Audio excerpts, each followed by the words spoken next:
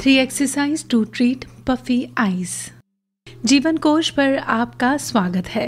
दोस्तों, आज हम सीखेंगे वो तीन योगासन जो कि पफी आइज़ से आपको छुटकारा देंगे। तो चलिए शुरुआत करते हैं और जानते हैं कौन से हैं ये तीन आसन। पश्चिमोत्तान आसन सबसे पहले आप मैट ले लीजिए एक और अपने पैरों को इस तरह से सामने की ओर फैला लीजिए और दोनों पैर मिले होने चाहिए। कमर को सीधा कीजिए, दोनों हाथ साइड में रख के आपको कमर को ज़्यादा ज़्यादा सीधा रखना है। उसके बाद आपको दोनों हाथों को ऊपर की ओर ले जाना है और स्पाइन को ऊपर की ओर खींचते हुए, दोनों हाथों को ऊपर की ओर खींचते हुए नीचे की ओर आना है। आपको अपनी स्पाइन को ज़्यादा से ज़्यादा सीधा रखने का ट्राई करना है और उसी स्पाइन लॉन्ग स्पाइन के साथ आपको इस तरह से नीचे आकर कुछ देर के लिए अपने फॉरहेड को घुटनों पर लगाना है। आप इसमें अंगूठे भी पकड़ सकते हैं या अपने पैरों को भी पकड़ सकते हैं। जो बिगनर हैं, वो ज़्यादा जल्दी आगे नहीं झुक पाते हैं, क्योंकि उनकी बॉडी में फ्लेक्सिबिलिटी नहीं होती है, लचीलापन नहीं होता है तो वो सीधा हाथों को ऊपर करके थोड़ा सा आगे इस तरह से झुक सकते हैं।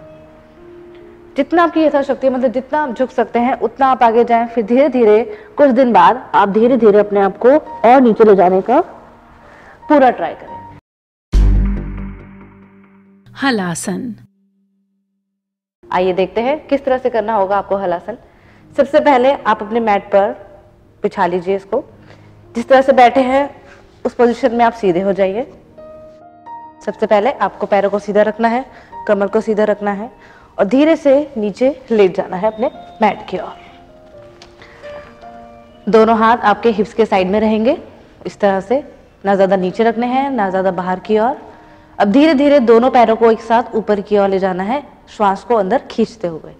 तो हम 30 डिग्री से 60 डिग्री से 90 डिग्री तक पैरों को यहाँ पर पहले ले आएँगे। अब यहाँ से हाफ़ जाते हुए जब आप पीछे की ओर जाएँगे तो आपको पूरा श्वास बाहर की ओर छोड़ना है। और धीरे से पैरों को पीछे की ओर ले जाना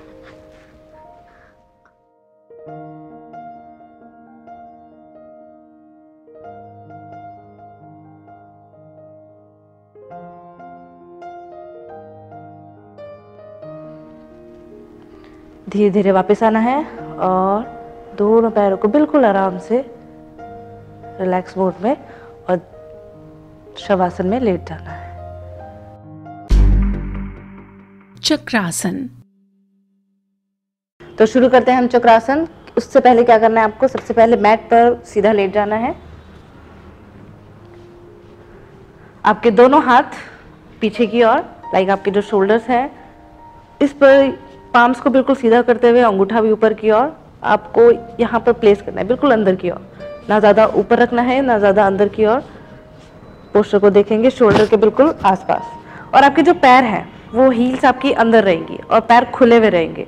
ज़्यादा ओपन भी नहीं करने हैं तो हिप्स के पास आपके हील्स इस तरह से थोड़े से दूर रह सकते हैं। ज़्यादा से ज़्यादा पास लाने की कोशिश करनी है आपको। तो शुरू करते हैं, धीरे से इनहेल करते हुए आपको ऊपर जाना है।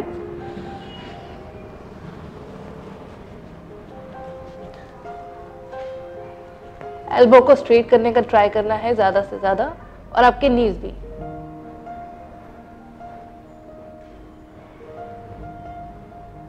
और नीचे आते हुए आपको आराम से नीचे आना है, बिल्कुल उसी पोस्टर में। दोनों हाथों को नीचे रखते हुए इसका काउंटर पोज मतलब आपको सुप्त पवन में आना है नेक को आराम से नीचे की ओर छोड़ना है। और फिर पैरों को धीरे धीरे सीधे नीचे एंड रिलैक्स थोड़ी देर शवासन में लेट जाना है।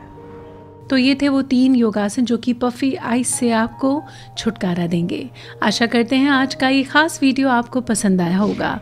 और अगर ये वीडियो पसंद आया है, इसे लाइक करें शेयर करें सब्सक्राइब करें जीवन कोश को। इसी के साथ ही जीवन कोश में अभी के लिए बस इतना ही।